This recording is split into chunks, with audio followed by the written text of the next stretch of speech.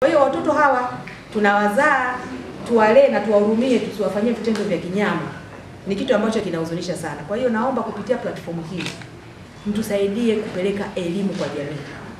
Watu wa TV, redio ambazo zinasikika sana mpaka huko vijijini, usiku wakikaa pale kula chakula baba na mama, wanasikia bomu kule, na wanajua kabisa kwamba na sisi pia tumewe kukaa tuka tuka tuka nalizungumza hili swala hapa, huyu alibakwa waanze pia kupata maumivu kwamba watoto hawa wanaobakwa wanahitaji tiba ya mwili na tiba ya akili ili waweze kurudi kwenye hali zao za kawaida. Aidha, Sendiga amesema serikali itaanza kuwakamata wazazi na walezi wanaoshindwa kutoa ushahidi mahakamani dhidi ya vitendo vya ubakaji na ulawiti kwa watoto. Tuna majarada mengi ambayo wazazi wamekimbia, wazazi wamekimbia.